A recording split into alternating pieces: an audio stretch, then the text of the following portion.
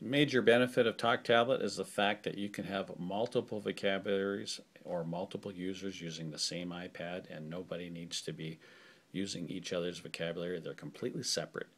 Let me show you how, it, uh, how simple that is to do.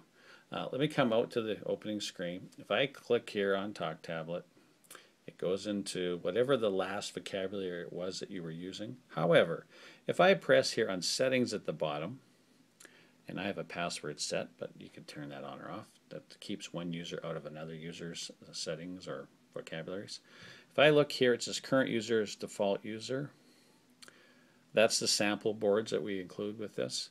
Uh, there's another sample, and here's another user I've added called Madison. If you wanted to add a new user called, um, we'll say Taylor, I just touch here, add user, and I type in here Taylor. Or you can type in here uh, autistic child or spectrum or aphasia client or whatever you wanted to do. You could add as many as many vocabularies as you want. They're all completely separate. I hit OK. There's Taylor. So I touch on Taylor, check mark shows up, and then I can start, I hit on main page, and I'm good to go. Here's the main page for Taylor. I can start adding buttons and pages if I want. It's, it's that simple. Now, what you will notice too is that, little, little side note here, is that when you're in settings, for example, of um, Taylor, I could choose Paul's voice or Kate's voice and have my own settings.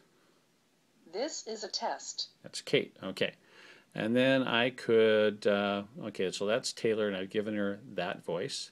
If I went out into a different user, and I will come out and I will choose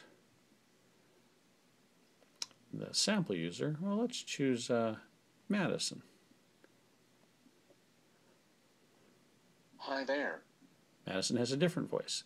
So you can see how the settings, the voice, the speed, the pitch, everything the symbols, everything is completely separate for the different users.